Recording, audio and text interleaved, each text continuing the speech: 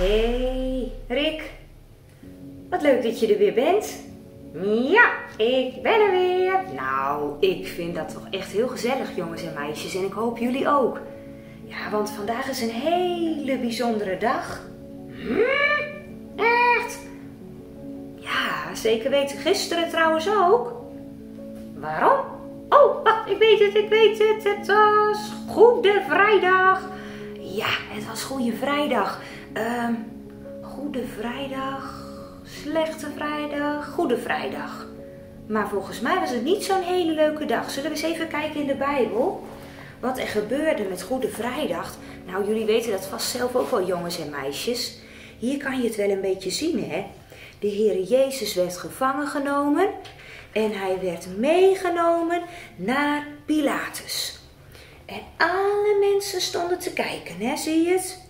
Hm, ik ken het, ik ken het. En, en, en toen gingen ze iets heel gemeens roepen. Nou, wat gingen ze roepen dan? Ze gingen niet zeggen Hosanna. Nee, ze gingen niet zeggen Hosanna. Nee, echt niet. Dat deden ze al een, tijdje terug, hè. Toen waren ze heel blij. Nou kijken de mensen ook heel erg boos. Wat riepen ze dan, Rick? Kruisig hem, kruisig hem. Kruisig hem. En wie moesten ze dan kruisigen? Ja, Jezus natuurlijk. Oh, die arme Jezus, hè, daar staat hij. En hij heeft zijn handen op zijn rug. Maar eigenlijk heeft Jezus helemaal niets verkeerds gedaan, hè? Nee. En Pilatus probeert nog wel een beetje de mensen te overtuigen. Nee, ze blijven maar roepen: kruisig hem! Ja, ze blijven maar roepen van kruisig hem.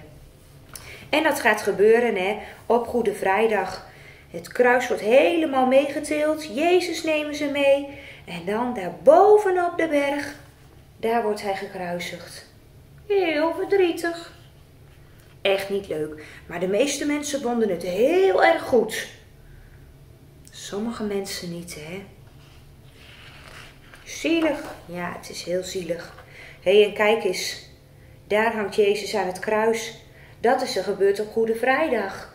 En nou zit ik even te denken, hè, toen Jezus gestorven was, bleef hij toen aan dat kruis hangen? Nee, nee, nee, uh, uh, ze gingen hem begraven. Ja, ze gingen hem ook nog begraven. En uh, ja, dat deden ze op een hele bijzondere manier. Ze hebben het lichaam van de Heer Jezus van het kruis gehaald en dat hebben ze helemaal in een doek gewikkeld. En toen hebben ze het in een rotsgraf gelegd. En daar rolden ze een hele grote steen voor. Zo deden ze dat. Kijk, zie je dat?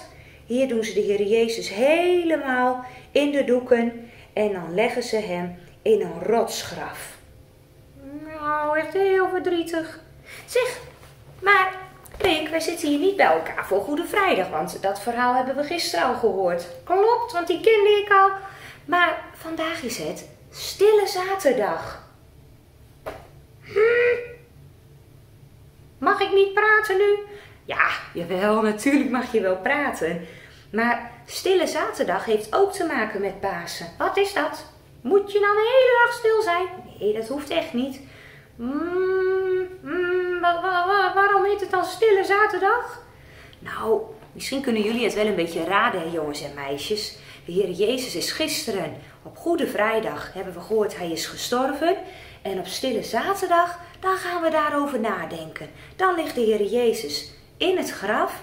En de meeste mensen die Jezus goed kennen, die waren ontzettend verdrietig. Ik ook, ja. Ik vind het ook een heel verdrietig verhaal. En op Stille Zaterdag, dan denken we daar dus aan dat de Heer Jezus in het graf ligt. Weet je trouwens wat er ook nog gebeurde toen Jezus net is gestorven? Weet je dat? Hij ging aan het kruis. Nee, ja, ook.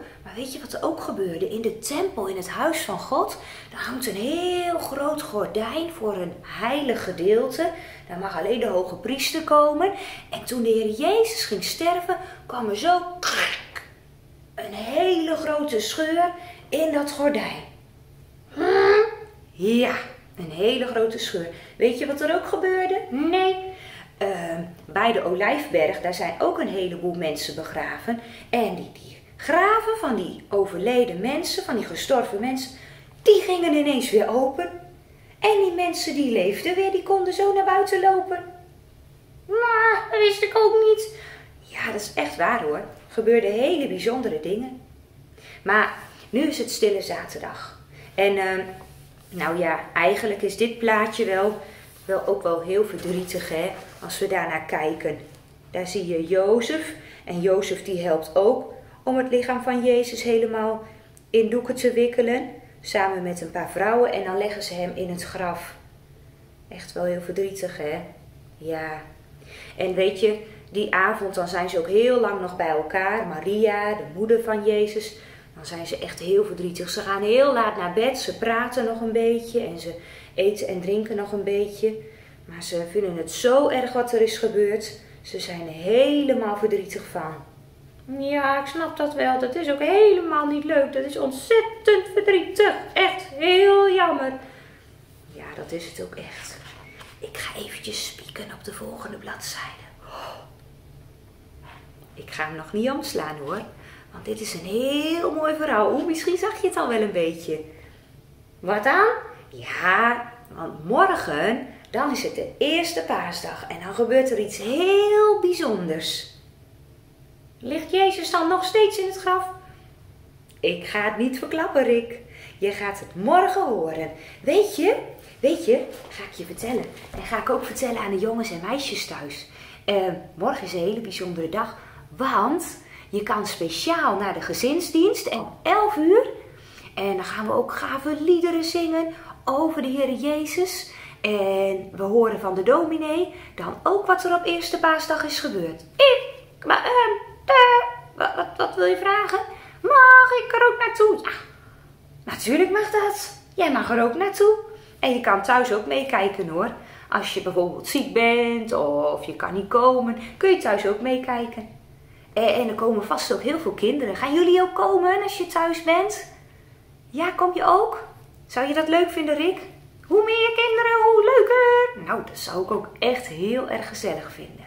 Nou, Rick, uh, ik ben benieuwd wie we morgen zien. Uh, jij komt ook? Ik kom ook. Zwaai maar eventjes. Dag, dag. Tot morgen. Doeg.